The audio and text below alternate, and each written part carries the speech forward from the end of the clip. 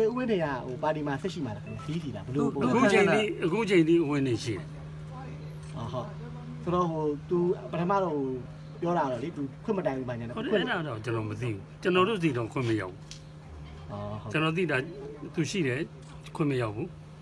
သူတခြားခွင့်တိုင်တယ်မတိုင်တယ်ကျွန်တော်မသိဘူးဘယ်လိုဆက်လုပ်ဖို့စီစဉ်ရှိတယ်သူခန်းကနာဘယ်လိုဆက်ရှိလာအဲ့ဒါတော့သူပဲသိမယ်ကျွန်တော်တို့မသိဘူးကျွန်တော်တို့ဒီလက်တွေ့လက်ရှိကတော့ဒီနေ့ခင်ဗျားတို့မြင်တယ် သူလည်းမရှိဘူးသူ့အကြောင်းလည်းကျွန်တော်တို့စီဝေးမှာဘာမှမဆွေးနွေးဘူး